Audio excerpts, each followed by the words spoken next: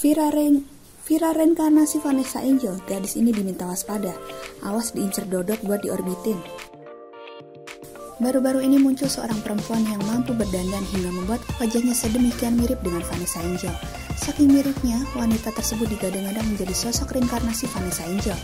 Sebelum dirias, wajah perempuan itu memang tak begitu mirip dengan kakak ipar Fuji tersebut. Namun setelah ia menerapkan skill riasan pada wajahnya, si perempuan itu langsung mempunyai wajah yang begitu mirip dengan Vanessa Angel. Konon video perempuan yang mampu menirukan riasan Vanessa Angel itu sudah ditonton sebanyak 10 juta kali di TikTok. Wah kaget banget gak sih ada perempuan yang mirip sama almarhum Vanessa Angel? Jangan-jangan perempuan di video TikTok yang sudah dilihat 10 juta orang ini merupakan reinkarnasi dari Vanessa Angel. Tulis akun gosip Instagram Beneran mirip almarhumah Vanessa Angel kan cantiknya?